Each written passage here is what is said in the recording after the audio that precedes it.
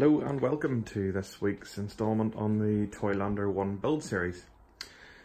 Um, last week was episode 2 and this is on to episode 3. I had a bit of a chat to you about the tools I bought last week and how I was going to be working. So here you can see a bit of work in progress. Um, I bought two sheets of marine ply, 8 foot by 4 feet, 45 pound each as you'll see in the last episode. And I've actually used up one of the sheets already and this is my second one and there's no prizes for guessing what shape this is. Now Toylander 1, in case you're only joining us, um, this is what I am hoping to build here.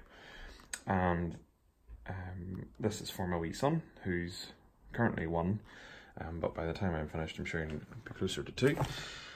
Um, it will not be the sage green, I'm probably going to paint it cream, but that is hoping to be the finished product in here. I have the MG and out of the way, our rain hit, it's been pretty bad here the last couple of days, so that's why the MG is in. I do push it out whenever I'm working because the sawdust goes everywhere. So, this is the second sheet. Um, I'll take you around here and show you some of the panels I cut from the first sheet. They're all neatly stored here out of the way. Particularly pleased with this. Um, now, annoyingly, this is how the plywood goes. It seems to chip um, along the edges. I suppose that's the way the ply is made. Um, that's something I'll have to address with wood filler, but that is the radiator grill, and I think that looks brilliant. I'm really pleased with that. Took ages to cut it out and get the curves all produced with the jigsaw, which is what I'm using, and I filed it all to make it look quite presentable. So once it's painted and filled, I think it'll look really good. See how it's all peeled there on the back, so that'll definitely be the back. You will notice that there are no holes cut on that for the headlamps. Um, those holes will get cut um, whenever I find suitable headlamps. I'll not be buying the ones from Toylander themselves. Um, I hope to buy my own slightly cheaper. Other panels. This is going to be the dashboard, which I think has turned out very well as well. Um, I had planned, if you look back in episode one of this, I had mentioned that I would be getting a, a joiner to give me a hand with some specialised tools. That has not been the case. I've just decided to move on by myself with just a jigsaw. So quite pleased how this is turning out. Um, there's a side panel. Hopefully you can appreciate that.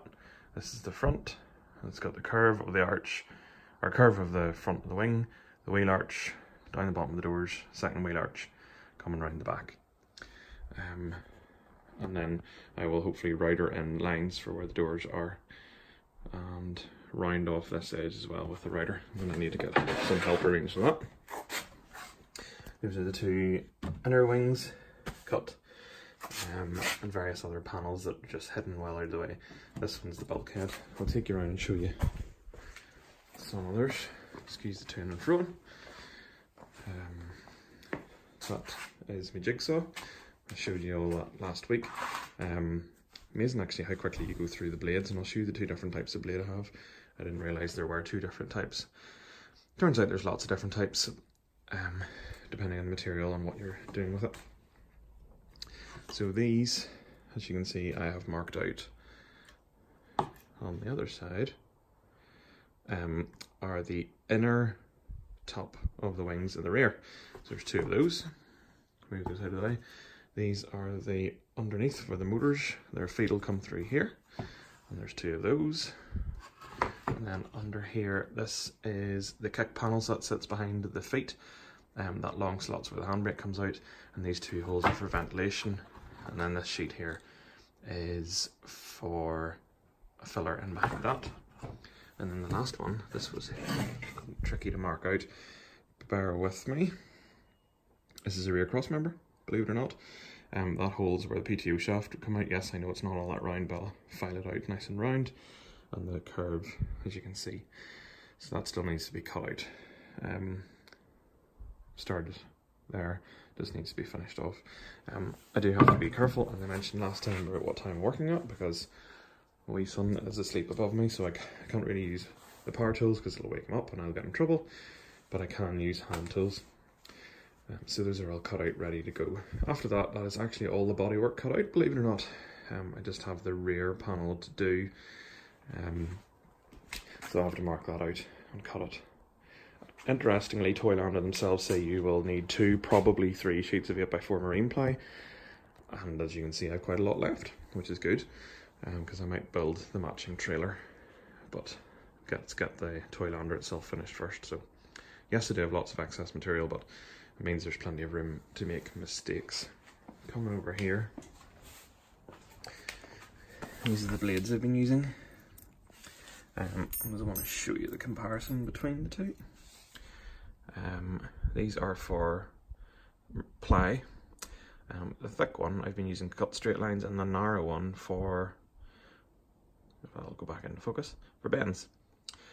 The main reason being that the narrow blade will easily navigate around the bend without causing a twist in the blade and then it catching and jumping.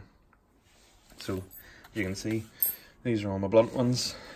There's still a few, plenty more to do me.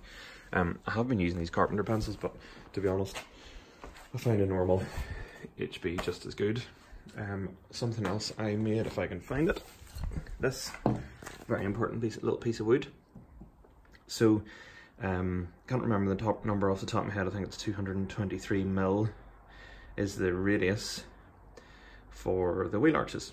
Now, I only have a small mathematics compass, something like you would have used in school. So what I did was I made this, which is just a scrap piece of wood. I measured the two holes accurately and drilled them out big enough I could put a screw through one end, put my pencil the other, and get your perfect radius, which I think's worked really well. I did cheat a bit in that I only measured one of the body sides, made it was absolute, made sure it was absolutely right, and then used as the template to cut the other, so the two would be absolutely identical. Um, I hope that works out quite well, but I'm pretty sure it would. I can't see why not. Um, some spare bits and bobs. I'll hold on to it in the meantime. I'm no rush, but as you can see, the sawdust makes quite the mess of my garage, which gets me in trouble because it is an integral garage and the dust goes everywhere through the house. So these are the tools I'm using. Talked about that last time. If you check that video out. Um, the MG is in. More about that soon. I'm finding more rust on it, so I think this is going to require quite a bit of extra work, but another video coming about that very soon.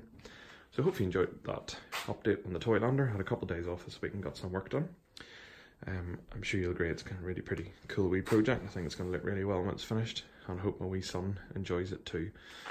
And I hope to paint it cream just to match my own Land Rover, and I think it'll look really smart. And it'll also be a bit kinder on the eye with any bodywork imperfections, as I'm told lighter colours are easier to work with.